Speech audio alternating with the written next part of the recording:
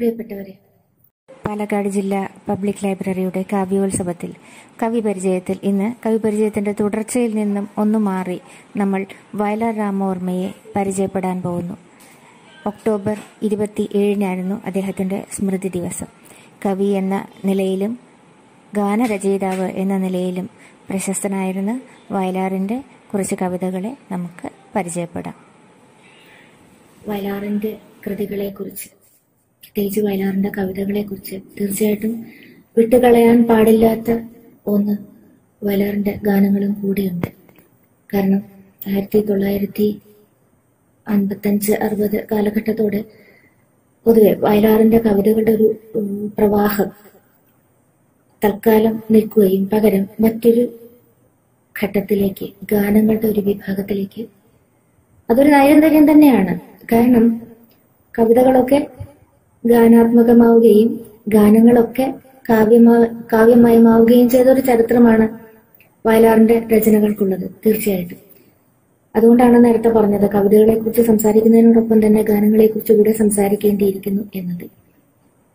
ശരിക്കും പറഞ്ഞാൽ കുമാരനാശാനിൽ നിന്ന് ഇങ്ങോട്ട് കുറച്ചു കാലത്തേക്ക് വളരെ വ്യത്യസ്തമായ ഒരു ഭാവുകത്വമാണ് വളരെ പുതുമയുള്ള ഒരു നൈരന്തര്യമാണ് നമ്മൾ മലയാള കവിതയിൽ കണ്ടിരിക്കുന്നത് അതിനു മുമ്പ് അത്തരം പുതുമയോ അല്ലെങ്കിൽ അത്തരം വ്യത്യസ്തമായിട്ടുള്ള ഒരു ഭാവകത്വമോ ഉണ്ടായിട്ടില്ല എന്നല്ല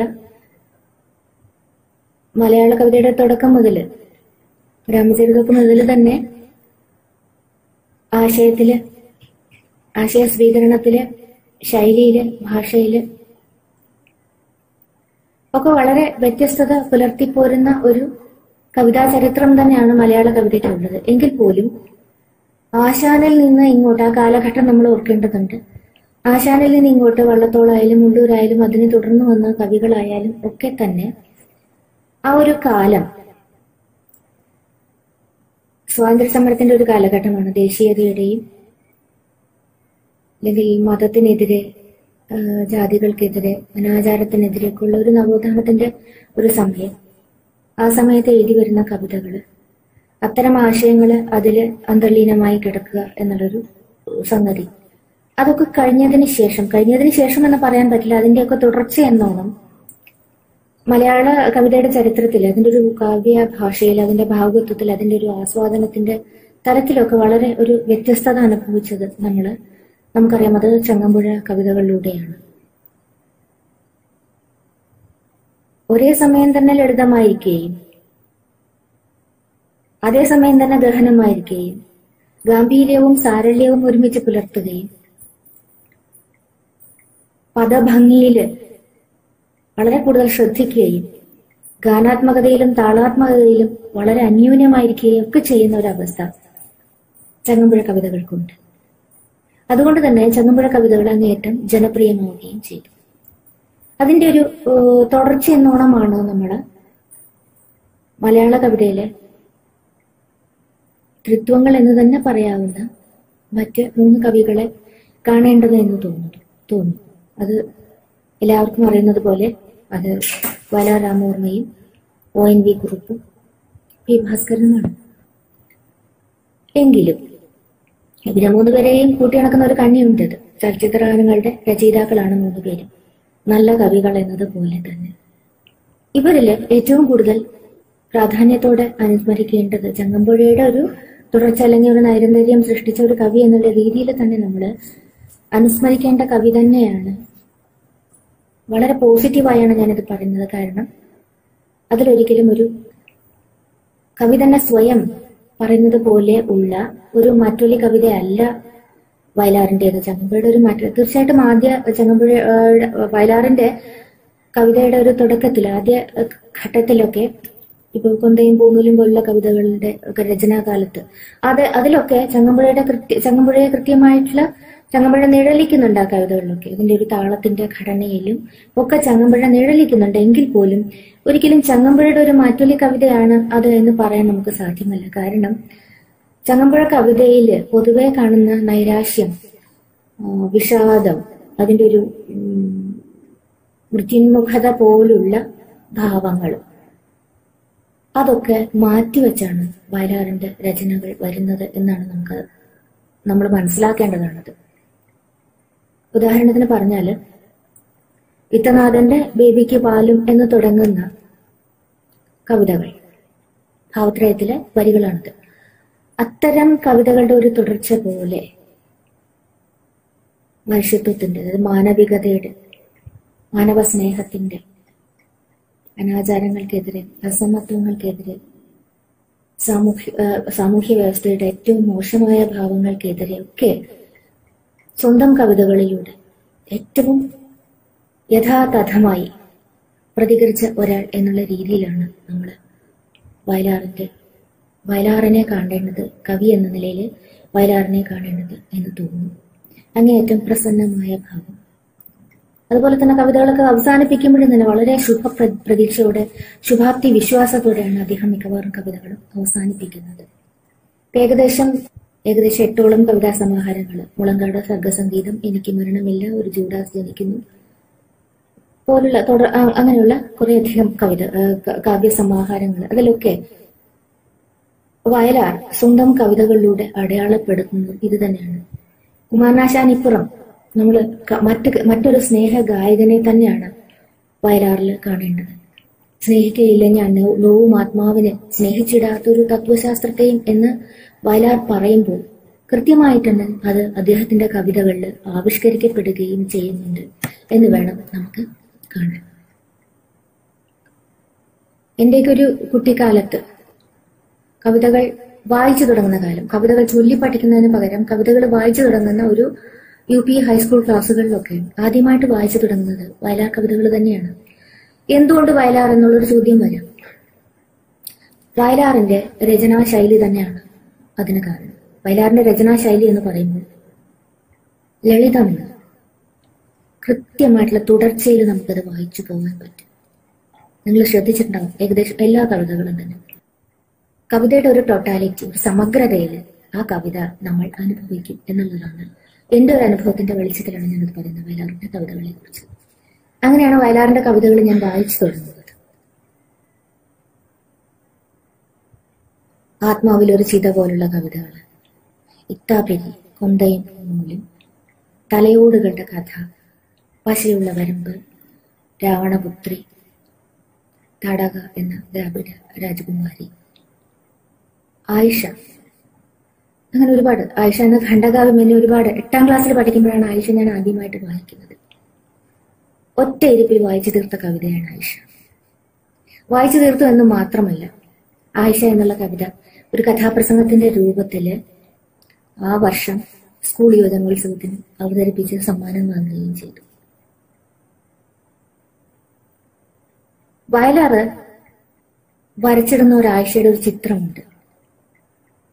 വളരെ കൃത്യവും വ്യക്തവുമായി ഒരിക്കലും കണ്ണിൽ നിന്നും മനസ്സിൽ നിന്നും മാഞ്ഞു പോവാത്ത ഒരു ചിത്രം എന്നതിലുപരി എനിക്ക് തോന്നുന്നു നമ്മുടെ മനസ്സിലൊക്കെ കുത്തിവെക്കുന്ന ഒരു ശില്പമാണ് ആയിഷ എന്നുള്ളത്. ആ വരികൾ ഒരിക്കലും നമുക്ക് മറക്കുമോ നിങ്ങൾ എന്നെ ആയിഷ എന്നാണ് വയലാർ ചോദിക്കുന്നത്. ഒരിക്കലും മറക്കില്ല ആയിഷയെ കാരണം മഞ്ഞപ്പുള്ളികളുള്ള നീലജക്കറ്റും നീല കുഞ്ഞു തൊങ്ങലു പാവാട ചുറ്റും കൈകളിൽ പൊട്ടി പൊട്ടിച്ചിരിക്കും വളകളും കൈതപ്പൂ ചൂളൻ മുടിക്കെട്ടും പുഞ്ചിരിയടരാത്ത മുഖവും തേനൂറുന്ന കൊഞ്ചലും മറക്കുമോ നിങ്ങൾ എന്ന ഐഷയെ എന്നാണ് വയലാർ ചോദിക്കുന്നത്. തീർച്ചയായിട്ടും മറക്കില്ല. അത് തന്നെയാണ് ആ കവിതയോട് വല്ലാത്തൊരു പ്രേമം തോന്നാനും തുടർന്ന് അതിനെ കഥാപ്രസംഗ രൂപത്തിൽ അവതരിപ്പിക്കാനും ഒക്കെ കാരണമായത് എന്ന് വേണമെങ്കിൽ പറയാം. ചങ്ങമ്പുഴയുടെ ഒരു തുടർച്ച എന്നുള്ളത് മറ്റൊരു കവിയിൽ ഉണ്ടാവുക എന്നുള്ളത് ഒരു വലിയ ദോഷമായിട്ട് കരുതാനില്ല എന്നുകൂടെ നമുക്ക് പറയേണ്ടിയിരിക്കുന്നു. പിന്നീട് ആ തുടർച്ചയിൽ തന്നെ അത് അങ്ങനെ ഒരു തുടർച്ച ഉണ്ടാവുന്നെങ്കിൽ പോലും ആ തുടർച്ച തന്നെ വളരെ വ്യത്യസ്തമായിട്ടുള്ള ഒരു തുടർച്ചയായിട്ട് വേണം നമ്മൾ കാണാൻ എന്ന് കൂടെ പറയാനുണ്ട്. നേരത്തെ പറഞ്ഞിരുന്നു അത് നിരാശയും വിഷാദവും ഒന്നുമല്ല. അതിനപ്പുറത്തേക്ക് വളരെ ശുഭാ ശുഭാപ്തി പൂർണമായിട്ടുള്ള ഒരു വിശ്വാസത്തിന്റെ പുറത്താണ് അദ്ദേഹത്തിന്റെ കവിതകൾ. വ്യത്യസ്തമായ വ്യത്യസ്തമായ കവിതകൾ ഉണ്ട് എങ്കിൽ പോലും പ്രണയമായാലും പൊമ്മർ പോലുള്ള കവിതകളിൽ പ്രണയമായാൽ പോലും അല്ലെങ്കിൽ വിഗ്രഹഭഞ്ജക സ്വഭാവമുള്ളതായാൽ പോലും രാവണപുത്രിയും താടക പോലുമുള്ള പോലെയുള്ള കവിതകളിൽ ഹാസം ഇല്ലെങ്കിൽ ഒരു ഹാസത്തിന്റെതായിട്ടുള്ള ഒരു കറുത്ത ചിരി കുണ്ടുണ്ണി മോ ഉം, രണ്ടുകാലിനും മല പോലെ മന്തുള്ള കുണ്ടുണ്ണി മേനോൻ നടന്നു പതുക്കനെ തുടങ്ങുന്ന ആ കവിത. അതുപോലുള്ള കവിതകളാണെങ്കിലും ശരി. ഇല്ലെങ്കിൽ വിലാപത്തിന്റെ സ്വഭാവത്തിലുള്ള നമ്മെ വളരെ അതി ഭീകരമായ എന്ന് തന്നെ പറയാം.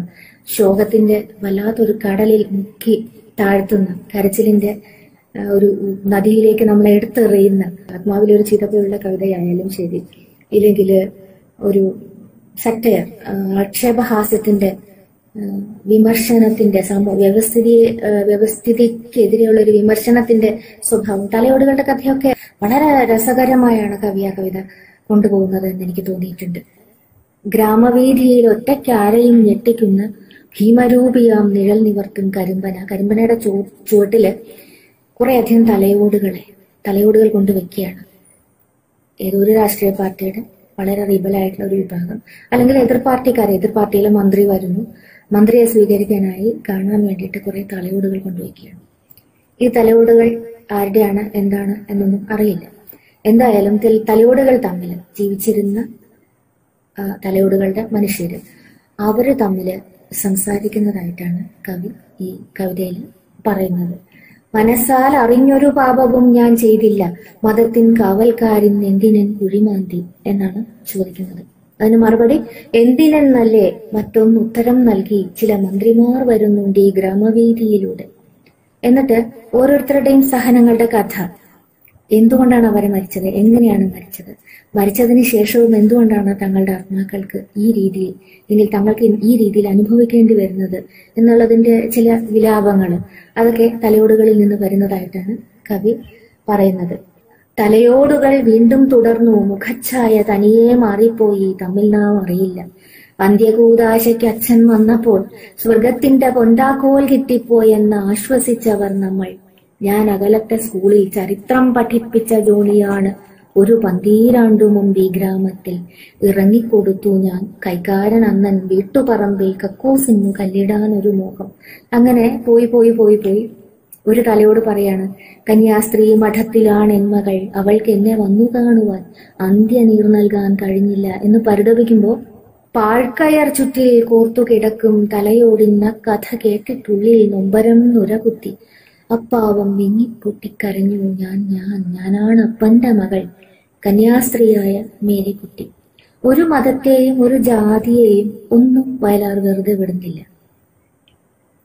കണക്കിന് പരിഹസിച്ച് തന്നെയാണ് വിടുന്നത്. അപ്പൊ ഈ കവിത അവസാനിപ്പിക്കുന്നത് തന്നെ അകലെ ദേവാലയ കുംഭഗോപുരത്തിനു മുകളിൽ കയ്യും നീട്ടി മലർന്ന മനസ്സുമായി നഗ്നമായൊരു കുരിശ് ആരെയോ വരവേൽക്കാൻ നിൽക്കുന്നു. താരാന്തര രാജവീതിയും നോക്കി ഒരു നാൾ തിരിച്ചെത്തും ജീസസും തിരുമുഖം ഒരു നോക്കൊന്നും കൂടി കാണുവാനാവാം. മോഹം എന്നാണ്. ഇതേ കണക്കിന് ഇത് ഈ- ഇത് ഇതേ കണക്കിന് തന്നെയാണ് അദ്ദേഹത്തിന്റെ മിക്കവാറും കവിതകൾ പോകുന്നത്. യാഥാർത്ഥ്യത്തോട് കൂടുതൽ അടുത്തു നിൽക്കുന്ന കാൽപ്പനികമായിരിക്കുകയും എന്നാൽ കാൽപ്പനികതയിൽ നിന്നും കുറച്ച് വിട്ടുമാറി ചിന്തിക്കുന്ന മട്ടിലുള്ള കവിതകൾ. പശയുള്ള വരമ്പ് എന്നുള്ള കവിത എടുക്കാം. പശയുള്ള വരമ്പും വരുമ്പോ ഒരു കഥാകാവ്യമാണ്. പശുവിള വരമ്പ് പറയുന്നത് പുഴയും പാടവും തമ്മിൽ വേർതിരിക്കുന്ന ഒരു വരമ്പ് കുട്ടനാട്ടിലെ കഥയാണ്. ആ വരമ്പ് വര ഇരുവ ഇരുവശം പൂക്കൈത പൂത്തു നിൽക്കും കറുക പടർന്ന നടവരമ്പാണത് ആ വരമ്പ് ഇങ്ങനെ ഉറച്ചു നിൽക്കുകയാണ്. ആറ് എത്ര ചെന്ന് കുലുക്കിയാലും ആ വരമ്പ് അവിടെ ഒരിക്കലും മട വീഴില്ല. അത് അത് കടന്നിട്ട് ആറ് പാടത്തേക്ക് ഒരിക്കലും പോകില്ല അപ്പൊ അതിന് പിന്നിൽ ഒരു കഥയുണ്ട്. ആ കഥയാണ് സമൂഹത്തിലെ അന്ധവിശ്വാസങ്ങൾക്ക് നേരെ അനാചാരങ്ങൾക്കെതിരെ ഒക്കെ പടവാൾ ഉയർത്തുന്ന ഒരു കഥയാണിത്. പക്ഷെ അതിനപ്പുറത്തേക്ക് അത്തരം ഒരു കഥയ്ക്ക് എന്തുകൊണ്ട് നരബലി ചെയ്ത വരമ്പാണത്? അപ്പൊ എന്തുകൊണ്ട് ആ വരമ്പിൽ വരമ്പ് ഉറച്ചു നിൽക്കുന്നു? അത് നരബലി ചെയ്തത് കൊണ്ടല്ല. അതിന് കൃത്യമായിട്ട് മനഃശാസ്ത്രപരവും ശാസ്ത്രീയപരവുമായിട്ടുള്ള ഒരു വിശദീകരണം വയലാർ കൊടുക്കുന്നുണ്ട് ഈ കവിതയിൽ അതായത് ഒരു ഒരു പാവപ്പെട്ട കർഷകന് ബലി ചെയ്തു ബലി കൊടുത്തു. ഈ വരമ്പ് ഉറയ്ക്കാൻ വേണ്ടി ചിറ ഉറയ്ക്കണമോ വേണമെങ്കിൽ നരബലി ചെയ്യണം ആ വരമ്പിൽ എന്ന് കോമരം തുള്ളി പറയുന്നത് കൊണ്ട് കുടുംബയും പൂണൂലുമുള്ളവർക്ക് ആ കുരുതിയിൽ എന്തോ രസം പിടിച്ചു എന്ന് കവി പറയുന്നുണ്ട്. ആ രസം എന്നുള്ളത് ഒരു ഒരു ഒരു പാവപ്പെട്ട കർഷകന് ബലി കൊടുത്തതിന് ശേഷം ആ വരം ഉറച്ചു എന്ന് പറയുന്നുണ്ടെങ്കിലും ആ ഉറച്ചതിന് കാരണം വയലാർ പറയുന്നത് എന്താന്ന് വെച്ചാൽ ആ ഒരു അങ്ങനെ ഒരു സംഭവം അവരുടെ ഉള്ളിൽ ഉയർത്തിയ ഒരു നടുക്കത്തിന്റെ അലയൊലികൾ പുതിയ ആൾക്കാരാക്കി അവരെ മാറ്റുകയും അതിന്റെ ഉണർവിലും ഉത്സാഹത്തിലും അവർ പണി പണിയെടുക്കുകയും അങ്ങനെ ആ പണിയെടുത്തത് കൊണ്ട് അവരുടെ ആത്മബലത്തിന്റെ ഒരു നിദർശനം എന്നോണം ആ വരമ്പിങ്ങനെ തലയുയർത്തി നിന്നു എന്നാണ് വളരെ മനഃശാസ്ത്രപരമായിട്ട് ഒരു സമീപന സമീപനമാണ് കവിതയിൽ ആ കവിതയിൽ വയലാർ കൈക്കൊണ്ടിരിക്കുന്നതെന്ന് തോന്നിയിട്ടുണ്ട്. അതുപോലുള്ള കവിതകൾ. ഇനി മറ്റ് വിഗ്രഹ ഭഞ്ചക സ്വഭാവം കാണിക്കുന്ന അല്ലെ? നമുക്കൊക്കെ അറിയാം രാവണൻ ആരാണെന്നും രാവണപുത്രി ആരാണെന്നും. പക്ഷെ ആ ഒരു ചെറിയ ഒരു ത്രെഡ് ആ ചെറിയ ഒരു തന്തുവിനെ വളരെ ഭംഗിയായിട്ട് വികസിപ്പിച്ച് വേദവതിയെ മലർശര സഹായകം വേദനിപ്പിക്കാത്ത പൂജാമലരിനെ അന്ന് ആദ്യം എത്തിപ്പിടിച്ച് കശക്കിയ മന്ദാരപുഷ്പത്തെ ഓർത്തുപോ രാവണൻ എന്ന് പറയുന്നുണ്ട്. അപ്പൊ വേദവതിയുടെ ശാപമാണ് അരാധമാനി മരിക്കും നിനക്ക് എന്നിൽ ജനിക്കും പെൺകിടാവിനാൽ എന്ന് വേദവതിയുടെ ശാപവുമുണ്ട്. ഒടുവില സീതയെ കൊണ്ടുവന്നിട്ടും സീതയെ ഒരു പെണ്ണായിട്ടല്ല കൊണ്ടുവന്നത്. സ്വന്തം മകളായിട്ടാണ് രാവണൻ കൊണ്ടുവന്നത് എന്ന് ഇന്ന് അതുവരെ കണ്ടിട്ടില്ലാത്ത അല്ലെങ്കിൽ അതുവരെ നമ്മൾ വിശ്വസിച്ചു പോകുന്ന വായിച്ചു പോകുന്ന മനസ്സിലാക്കി പോകുന്ന അറിഞ്ഞു പോകുന്ന കഥയിൽ നിന്നും വ്യത്യസ്തമായി ആ കഥയിൽ ഒരു വിഗ്രഹ പഞ്ചക സ്വഭാവം ആ, വയ- വയലാറ് ഉണ്ടാക്കിയെടുക്കുകയും ആ രീതിയിൽ ആ കഥയെ മുന്നോട്ട് കൊണ്ടുപോവുകയും ചെയ്യുമ്പോൾ രാവണനെ കുറിച്ച് നമ്മുടെ ഉള്ളിലുണ്ടായിരുന്ന ഒരുപാട് സങ്കല്പങ്ങളാണ് ഇടിഞ്ഞു പൊളിഞ്ഞ് വീഴുന്നത്. അതുപോലെ തന്നെയാണ് താടക എന്ന ദ്രാവിഡ രാജകുമാരിയിലും അദ്ദേഹം ചെയ്യുന്നത് കവിതയെക്കുറിച്ച് പറയുകയാണെങ്കിൽ വയലാറിന്റെ കവിതകളെ കുറിച്ച് പറയുമ്പോൾ ഒരുപാട് പറയാനുണ്ട്. ഒരുപാട് കവിതകളെ കുറിച്ച് പറയാനുണ്ട്. നാൽപ്പത്തേഴ് വർഷമാണ് അദ്ദേഹം ജീവിച്ചിരുന്നത്. ഈ നാൽപ്പത്തേഴ് വർഷത്തിനിടയിൽ കവിതാരംഗത്ത് അദ്ദേഹം സജീവമായി നിന്നത് ഏകദേശം ഒരു കാലം മാത്രമാണ്. അതിനിടയിൽ അദ്ദേഹം ഈ എട്ട് സമാഹാരങ്ങളും നൂറിലധികം അസമാഹൃത കവിതകളും അദ്ദേഹത്തിന്റെതായിട്ടുണ്ട്. വളരെ വ്യത്യസ്തമായിട്ടുള്ള ഒരുപാട് കവിതകൾ അദ്ദേഹത്തിന്റെതായിട്ട് പറയാനുണ്ട്. എല്ലാം എടുത്തു പറയാൻ സമയമില്ല. കക്ഷി രാഷ്ട്രീയത്തിന്റെ കവിതകൾ പോലുള്ള കവിതകളൊക്കെ ഏത് കാലത്തും ചർച്ച ചെയ്യപ്പെടുന്ന ഏത് കാലത്തും പ്രസക്തമാവുന്ന കവിതകളാണ് അദ്ദേഹത്തിന്റെ. ഈയിടെ പെയ്ത മഴയ്ക്ക് ഇവിടത്തെ കരിമണ്ണിൽ ഈയലും കൂണും മുളച്ചു വന്നു. കുടനീർത്തും കൂണുകൾ ചിന്തിച്ചു നമ്മുടെ ഈ കുടയുടെ കീഴിലെ ലോകമുള്ളൂ. ഒരു കൂണിനു കീഴിലിരുന്നൊരു സംഘം ഞാഞ്ഞൂലുകൾ ഒരു തീരുമാനം എടുത്തുപോലും. ഗ്രഹണത്തിന് വിഷം ഇത്തിരി കിട്ടുമ്പോൾ നമ്മൾ ഈ ഗഗനം ഗഗനവും ഭൂമിയും ശൂന്യമാക്കും. അല്പന്മാരുടെ ഒരു ലോകത്തെ കുറിച്ച് വളരെ ഇതിൽ ഇതിലപ്പുറം എന്താണ് പറയുക? ഇതുപോലുള്ള കവിതകൾ കുറെ അധികം കവിതകൾ അദ്ദേഹം എഴുതിയിട്ടുണ്ട്. അതിനെക്കുറിച്ച് മുഴുവനും നമുക്ക് ചർച്ച ചെയ്യാനുള്ള സമയമില്ല. കവിതകളെ കുറിച്ച് എത്രത്തോളം പറയാനുണ്ടോ അത്ര തന്നെ പറയാനുണ്ട് അദ്ദേഹത്തിന്റെ ചലച്ചിത്ര ഗാനങ്ങളെ കുറിച്ചും നാടക ഗാനങ്ങളെ കുറിച്ചും എൻ ബി പറഞ്ഞതുപോലെ കവിതയിൽ എന്താണോ നഷ്ടമായത് അത് ഗാനരംഗത്ത് നേട്ടമായി എന്ന് കൊന്തയും പൂണൂലും എന്ന കവിതാ സമാഹാരത്തിന്റെ അവതാരിയൊക്കെയാണെന്ന് തോന്നുന്നു എൻ ബി പറഞ്ഞത്. സത്യമാണത്. അദ്ദേഹത്തിന്റെ ഏഹ്, ചലച്ചിത്ര ഗാനങ്ങൾക്ക് വിഷയ വിഷ വിഷയമാവാത്ത ഒന്നും ഉണ്ടായിരുന്നില്ല. പ്രണയമായാലും നാടോടി ഗാനങ്ങളായാലും പരിഹാസമായാലും കുട്ടിക്കവിതകളായാലും പ്രകൃതി ഭംഗിയായാലും പ്രകൃതിയെക്കുറിച്ചായാലും ഈശ്വരനെ കുറിച്ചാലും ഭക്തിയായാലും ആത്മീയതയായാലും നിരീശ്വരവാദമായാലും എല്ലാം എന്താണോ എഴുതണമെന്ന് ഉദ്ദേശിച്ചത്? എന്താണോ അദ്ദേഹത്തിന്റെ മനസ്സിലുണ്ടായിരുന്നത്? എന്താവണം ഒരു ഗാനം എന്നതായിരുന്നു അദ്ദേഹത്തിന്റെ മനസ്സിലുണ്ട്. കൃത്യമായിട്ട് ആ ഗാനം അതാവുകയും അതിന് അനുയോജ്യമായ സംഗീതം നൽകാൻ അതിനനുസരിച്ച സംഗീത സംവിധ സംവിധായകന്മാർ ഉണ്ടാവുകയും ദേവരാജ മാഷെ പോലുള്ള സംഗീത സംവിധായകന്മാർ ഉണ്ടാവുകയും അതങ്ങനെ എന്നെ എന്നേക്കുമുള്ള ഗാനങ്ങളായിട്ട് അത്രത്തോളം കാവ്യാത്മകമായ അല്ലെങ്കിൽ ആ കവിതകൾ തന്നെയാണ് അദ്ദേഹത്തിന്റെ ഗാനങ്ങളും ഏകദേശം ആയിരത്തി മുന്നൂറിനെ ഏകദേശം ആയിരത്തി മുന്നൂറിൽ കൂടുതൽ ഗാനങ്ങളാണ് ചലച്ചിത്ര ഗാനങ്ങളായി അദ്ദേഹം എഴുതിയിരിക്കുന്നത്. കൂടാതെ നാടക ഗാനങ്ങൾ വേറെയും. അതിനെക്കുറിച്ചൊക്കെ വിശദമായിട്ട് സംസാരിക്കുകയാണെങ്കിൽ ഒരുപാടുണ്ട്. അതിൽ എന്തുണ്ട് എന്നതിനേക്കാളും അതിൽ എന്തില്ല എന്ന് ചോദിക്കുകയായിരിക്കും ശരി എന്ന് തോന്നുന്നു അത്രത്തോളം ജീവിതത്തിന്റെ എല്ലാ ഭാവങ്ങളും സമസ്ത ഭാവങ്ങളും അദ്ദേഹം തന്റെ ഗാനങ്ങളിലേക്ക് ആവാഹിച്ചിട്ടുണ്ട് എന്നുള്ളതാണ് സത്യം. അത് മലയാളി ഉള്ളിടത്തോളം കാലം മലയാളി ഗാനം ആസ്വദിക്കുന്നിടത്തോളം കാലം മലയാളിയുടെ ചൂണ്ടിൽ തത്തി നിൽക്കുന്ന അനശ്വരമായ ഗാനങ്ങളും ഗാനങ്ങളാണ് അവയെല്ലാം എന്നുള്ളതാണ് ഗാനങ്ങളെക്കുറിച്ച് പറയാനുള്ളത്.